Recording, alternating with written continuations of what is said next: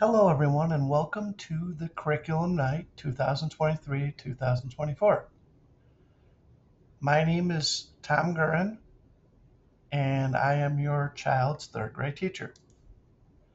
I'm going to go through this slideshow in case you were not able to make the curriculum night. You can go ahead and take a look at some of the highlights of the night. A little bit about myself I've been teaching third grade in the district for 29 years. I have a master's in curriculum and instruction.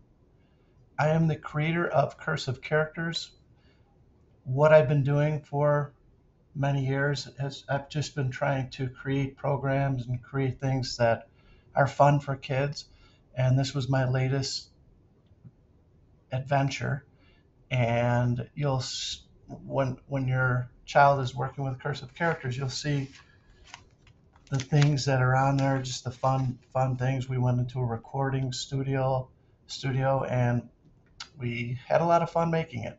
So it not only works on cursive, but it also talks about character traits and learning multiplication.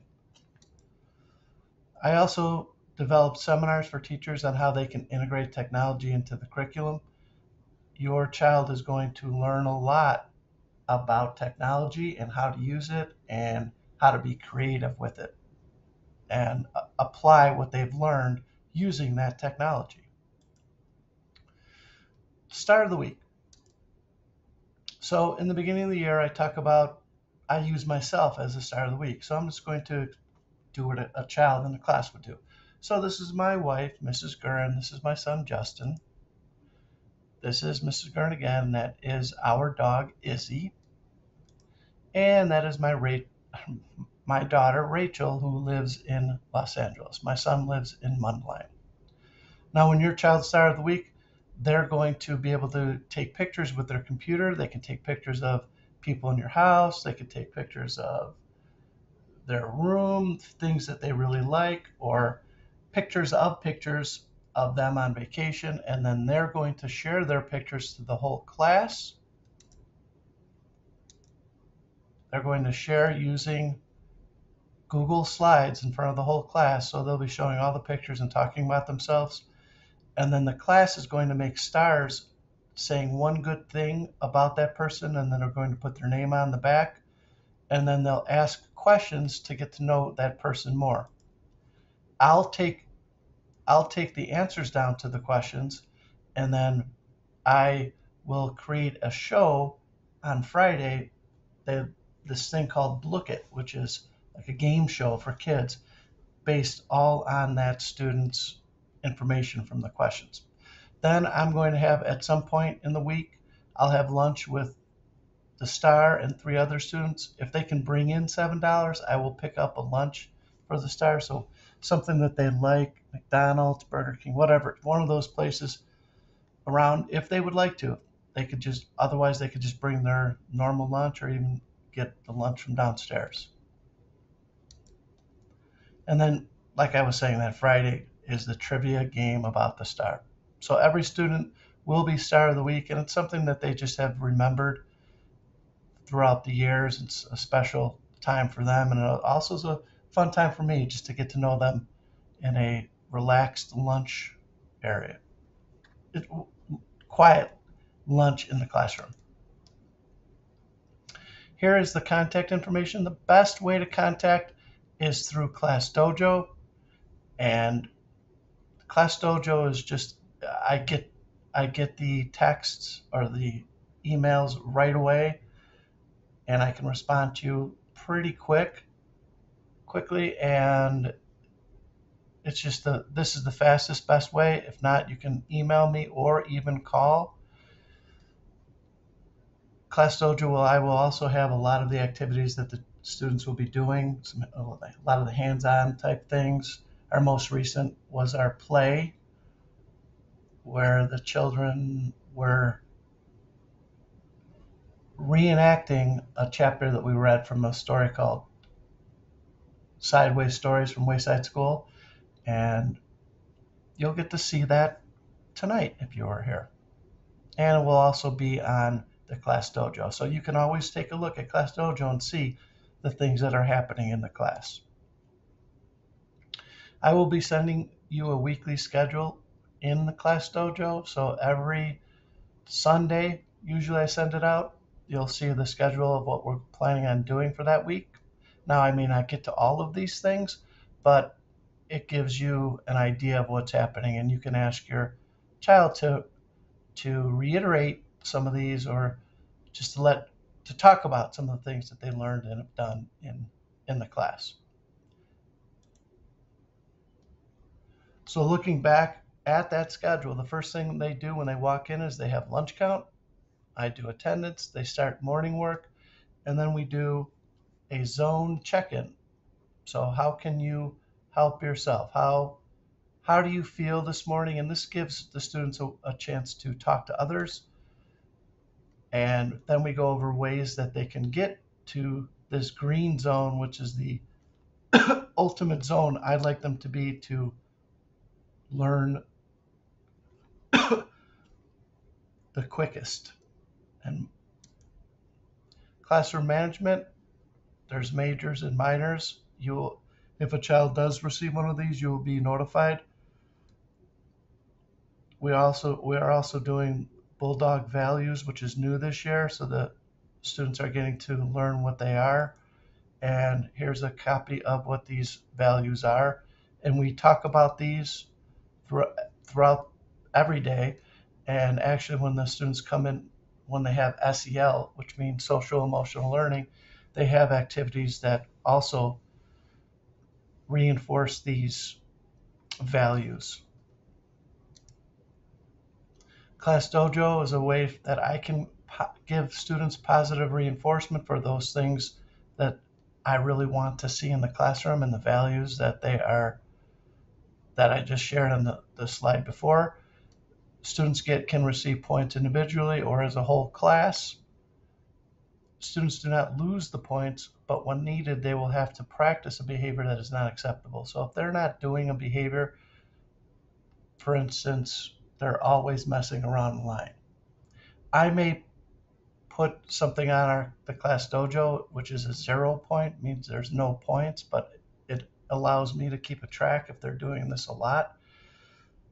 In which case, I will have to have them, in this case with the line, I would have to work with them during the recess on how to act to line up, how to actually line up the correct way to reinforce this and to practice the way the acceptable behavior.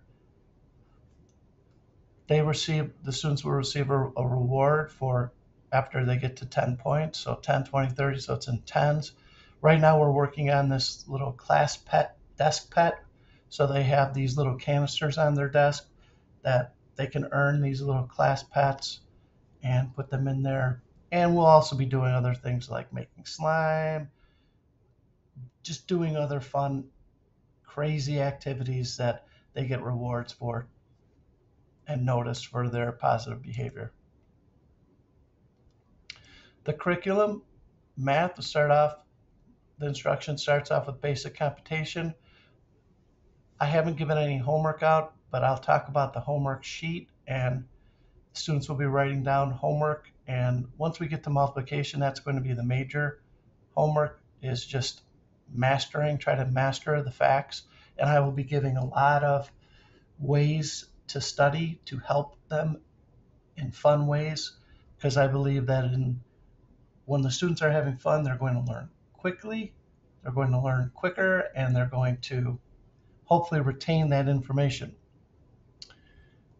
Homework could be be we may do some reading activities for for homework the majority will be multiplication facts, and sometimes there's going to be a project like making a robot, some fun project that will be for homework. And usually that will be over the weekend, which I will not give any other homework over on Friday except for a fun activity that really doesn't even seem like homework.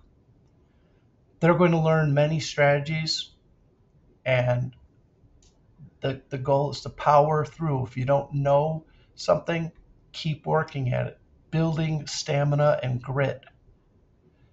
In the end, your child will choose the best strategy for him or her. So they're going to learn different strategies to solve problems.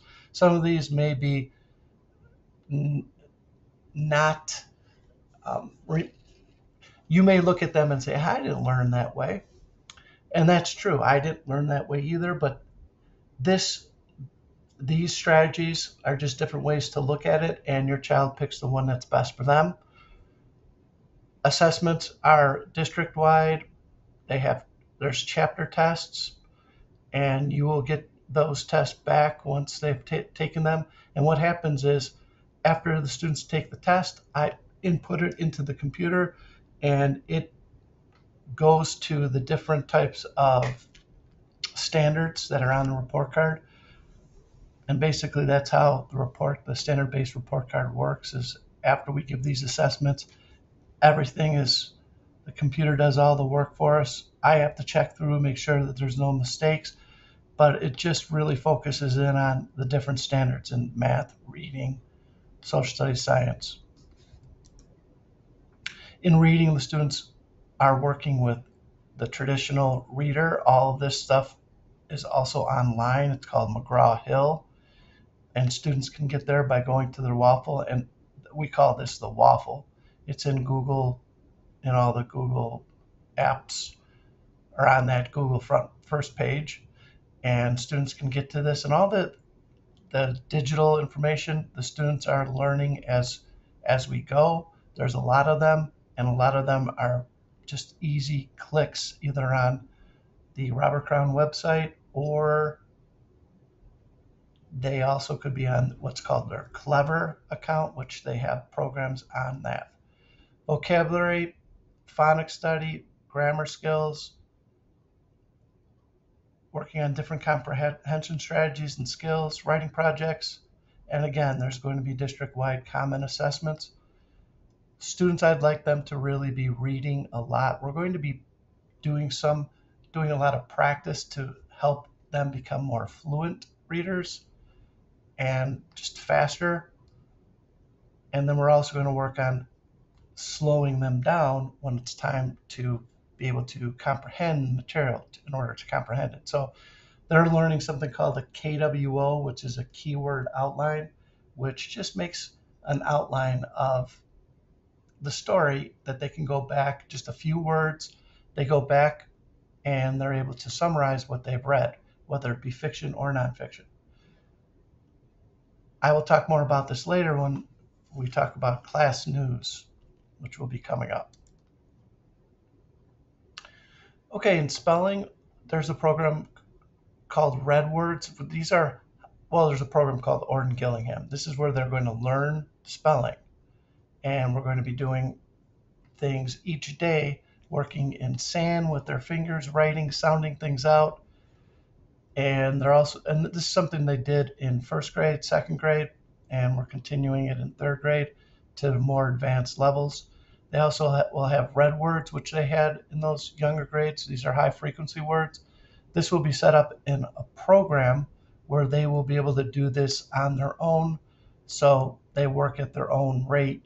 And this is the part the traditional memorizing the spelling words. That would be the red words. The other spelling words i'd like to teach them and have them learn spelling rather than memorize it. And then finally, incorporating all these spelling skills they've learned into their writing. Writing, they're going to be doing a lot of different sentences using graphic organizers to help them. They're going to be writing a narrative, expository, and usually I'd like to, with their writing, I, I'd like to pair up something exciting uh, projects. For instance, the robot is a how-to. What does your robot do? What are the three things your robot does? And they they actually design the robot and then create three things that it does, imaginary things that it does. We also do a lot of extended response to reading. So after students read a story, they have they have multiple choice type questions, and then they have one extended response to the reading where they need to formulate their thoughts in complete sentences and be able to answer the question fully.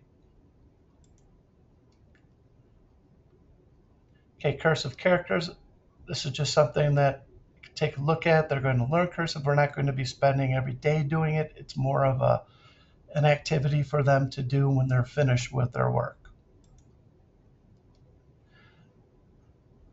Science, the topics that we work with are weather, motions and for, motion and forces, electricity and magnetism and life cycles. So again, I really want to incorporate a lot of hands-on type projects to this. They will be doing some lots of STEM connections. They'll be working with coding, life cycles. That's where our chicken embryology unit comes in. And if everything goes well, we end up hatching chicks, and then the the kids can share what they've learned to other students, so they not only get to share what they've learned, but share the checks. And it's just an exciting thing for the younger kids because when they come up to third grade, they know that that's going to happen and they're excited about coming to third grade. Social studies, again, we're working on these topics. And again, I they will be learning how to read the book. It's at a higher level for a lot of them. So I do incorporate again a lot of hands-on activities to help them understand this more complicated content material that's in, in the text. Okay, so assessments. There are different types of assessments the students take, paper, traditional paper pencil. Sometimes they'll be doing online assessments. They're going to be, there's a standard-based report card and social studies science, reading, writing, rubrics, and math quizzes, quizzes are all part of the standard-based report card. Also, the students take map testing three times a year, and that map testing is really beneficial because they take it three times each year. They took it last year. So the test really gets to know who they are. And you'll traditionally see improvement through fall, winter, spring, and as it goes, you'll see it will improve each time. And then at the beginning of the year next year, usually there's a decline and then it continues to improve. And you see the progress throughout the years. If your student is taking that map test, they and they get they get something wrong, the, pro, the the program adapts to whatever they have done. So if they get one wrong, it'll become easier for them. If they get one correct, it becomes more difficult, more challenging. They will also be taking the state test, and the state test is well, map testing is good for me because I'm able to see what they've done and get a pretty much immediate results. The state testing, I do not get the results. Um, this is more of an assessment of the school. Class news and homework. So every day they're going to be taking home that plastic envelope. And in that envelope, there will be any kinds, anything that the office needs to give you, I need to give you notes, things like that. All that will go into that plastic envelope that they should be taking home every day. Also, if you have something that you'd like to give to me, that's the place to put it. Inside of that envelope, there will be a class news and homework, and these will be copies back and front. And the homework is they'll be writing their homework on this. And then the class news, this is going to be something that they're going to be trying to write little keyword outlines of things that we've done throughout the day. When they get home and you ask, so what did you do in school? A lot of times the students will say nothing or I don't know. Well, this class news will hopefully help them be able to express to you something that they've learned or something they've done throughout the day and I'll keep these throughout the whole year. And at the end of the year, I'm going to put them together to create a book that they can take home and they'll have all the memories of the things that they've done in third grade. They have not been doing this yet, so this is going to start next week.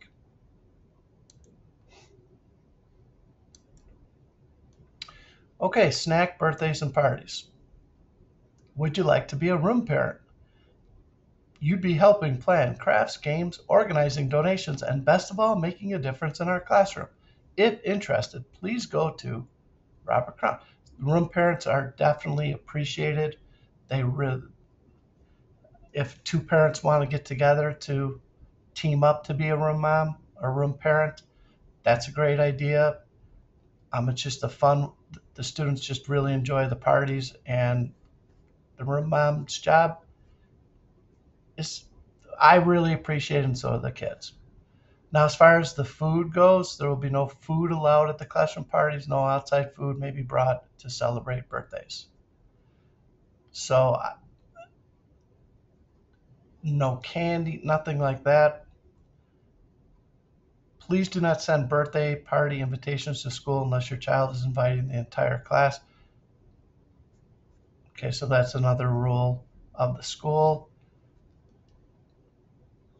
We do have snack in school, and we so just making sure that the snack is healthy. The snack we do the snack at around 1040, 1040 to 1050. Chromebook, I would, I, I think you should keep the cord at home. From what I understand, that cord being bent up in the in the case and constantly being put back in, bent, put back in, it ruins it.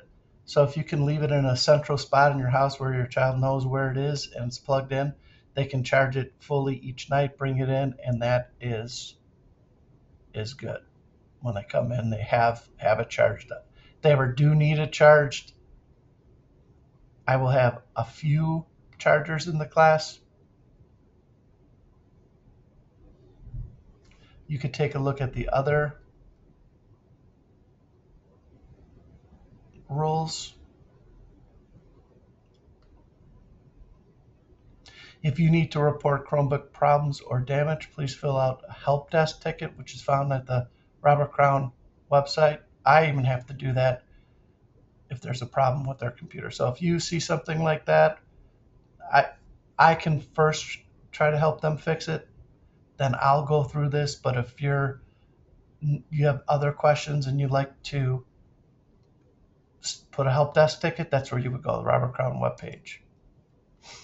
Google Classrooms, if we ever need to have a day off, I've worked with the students about how to get onto this. We're going to be using these things for different different activities actually in the classroom, but if there's ever a remote learning day, they will be prepared to go in and use this. Here are the Google Meet expectations if we ever need to go there again. The next slides are all information about from the special teachers. So you could take a look at that on your own. And that's it for me. If you have any questions, please feel free to contact me through Class Dojo, email, phone call, or Candygram, whatever you'd like. It's my pleasure sharing this with you, and I look forward to getting to know you and really working with your child to help them become the best that they can be and to have a great experience in third grade and at Robert Crown.